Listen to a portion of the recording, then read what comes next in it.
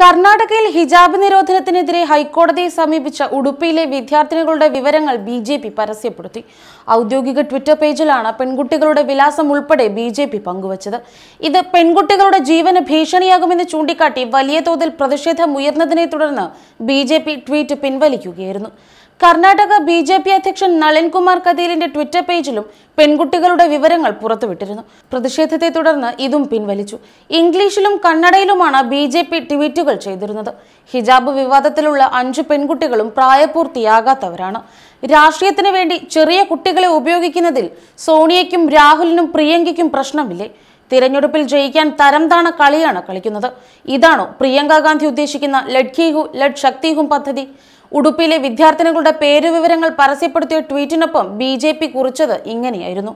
അതേസമയം B J പിയുടെ ട്വീറ്റിനെതിരെ ശിവസേന നേതാവ് പ്രിയങ്ക ചതുർവേദി രംഗത്തെത്തി. കൊച്ചുകുട്ടികളുടെ വിലാസം പങ്കുവച്ചാണോ പ്രതിപക്ഷത്തെ ആക്രമിക്കുന്നതെന്ന് അവർ ചോദിച്ചു. ഇതിന്റെ ഭവിഷ്യത്ത് എന്താകുമെന്ന് നിങ്ങൾ ചിന്തിച്ചിട്ടുണ്ടോ? ബി ജെ പിക്കെതിരെ നടപടിയെടുക്കാൻ കർണാടക പോലീസ് തയ്യാറാകണമെന്നും കേന്ദ്ര സർക്കാരും ട്വിറ്ററും വിഷയത്തിൽ ഇടപെടണമെന്നും പ്രിയങ്ക ചതുർവേദി ആവശ്യപ്പെട്ടു. കുട്ടികളുടെ വിവരങ്ങൾ പരസ്യമാക്കിയത് ക്രിമിനൽ കുറ്റമാണ്. ഒരിക്കലും അംഗീകരിക്കാനാകാത്ത നടപടിയാണിത്. ദേശീയ ബാലാവകാശ കമ്മീഷൻ ഇടപെടണമെന്നും പ്രിയങ്ക ചതുർവേദി ആവശ്യപ്പെട്ടു. ഹിജാബ് ധരിക്കുന്നതിനെതിരെ ഒരു വിഭാഗം രംഗത്ത് വന്നതോടെ കർണാടകയിലെ സാമൂഹിക അന്തരീക്ഷം വഷളായിരിക്കുകയാണ്. ഈ സാഹചര്യത്തിലാണ് ബി സമരത്തിലുള്ള പെൺകുട്ടികളുടെ വിവരങ്ങൾ പരസ്യമാക്കിയത്. ഇത് കുട്ടികൾ നിരന്തരം വേട്ടയാടപ്പെടാൻ ഇടയാക്കുമെന്നും അവരുടെ ജീവന് തന്നെ ഭീഷണിയാകുമെന്നും വിമർശനം ഉയർന്നു. വിവാദവും പ്രതിഷേധവും ശക്തമായതിനെ തുടർന്ന് സ്കൂളുകൾ അടച്ചിടാൻ കർണാടക സർക്കാർ നേരത്തെ തീരുമാനിച്ചിരുന്നു.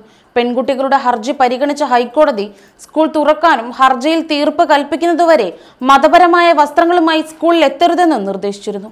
ഹർജിയിൽ ഹൈക്കോടതി തീർപ്പ് കൽപ്പിച്ചിട്ടില്ല. കഴിഞ്ഞ ദിവസങ്ങളിൽ വാദം കേട്ടിരുന്നു. വൈകാതെ കോടതി അന്തിമ തീരുമാനമെടുക്കുമെന്നാണ് കരുതുന്നത്. ഹിജാബ് ധരിച്ചെത്തുന്ന കുട്ടികളെ നിലവിൽ സ്കൂളുകളിൽ പ്രവേശിപ്പിക്കുന്നില്ല. തട്ടം അഴിച്ചുവെക്കാൻ തയ്യാറാകുന്നവർക്ക് മാത്രമാണ് പ്രവേശനം നൽകുന്നത്. ചില സ്കൂളുകളിൽ ഹിജാബ് ധരിച്ചെത്തുന്നവരെ പ്രവേശിച്ചെങ്കിലും ഇവർക്ക് പഠിപ്പില്ലാതെ പ്രത്യേക ക്ലാസ് മുറിയിൽ ഇരുത്തുകയാണ് ചെയ്തതെന്ന് രക്ഷിതാക്കൾ മാധ്യമങ്ങളോട് പറഞ്ഞു.